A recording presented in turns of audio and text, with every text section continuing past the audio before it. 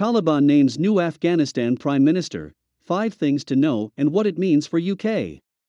Taliban insurgents seized control in Afghanistan weeks ago, but only recently formed a ruling government despite possessing an existing power structure. The Central Asian country now has a new prime minister in Mullah Muhammad Hassan Akhund.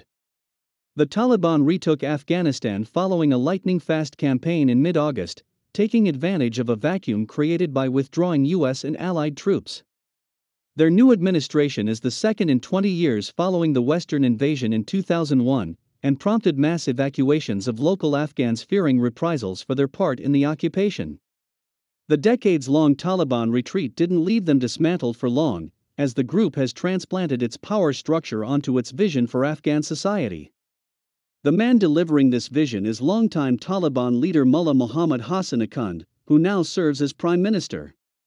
He replaces President Ashraf Ghani, who fled Afghanistan as the group feared down on Kabul. Akhund heads a caretaker government that will oversee millions of people. Many of them may not know who he is, given he didn't rely on their democratic support to get into office, and Express.co.uk has compiled facts about him everyone should know. He helped found the Taliban.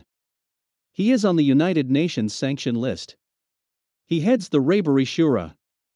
He is one figure in the Taliban's cabinet.